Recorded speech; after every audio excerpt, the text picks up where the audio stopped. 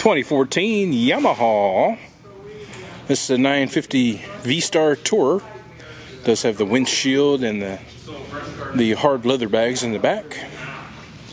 Seat's nice. Has a passenger backrest. It's a fairly stock unit, stock exhaust.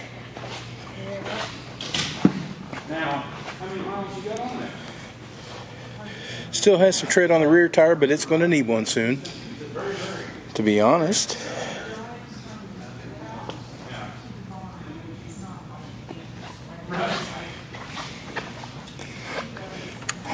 You better come and snap this one up because I might grab it myself.